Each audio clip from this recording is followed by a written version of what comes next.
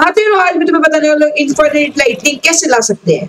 सबसे तुम, सबसे पहले तुम्हें एक स्टिकी पिस्टन लेना होगा, उसके ऊपर तुम्हें एक स्लाइम लगाना होगा, फिर तुम्हें एक लाइटनिंग रॉड लेनी होगी, फिर उसके ऊपर एक टेम्पररी ब्लॉक लगाना होगा। कुछ इस तरीके का सिस्टम तुम्हें बिठाना होगा। उसके ऊपर तुम कुछ चैनलिंग वाले ट्राइडेंट फेंक सकते हो। हाँ तो यहाँ पे मैंने कुछ चैनलिंग वाले ट्राइडेंट फेंक रखे हैं, और फिर तुम्हें थंडर स्ट्रोम होने का इंतज़ार करना है। अगर तुम क्रिएटिव में तो तुम स्लैश वेदर थंडर लिख के भी एंटर दबा सकते हो।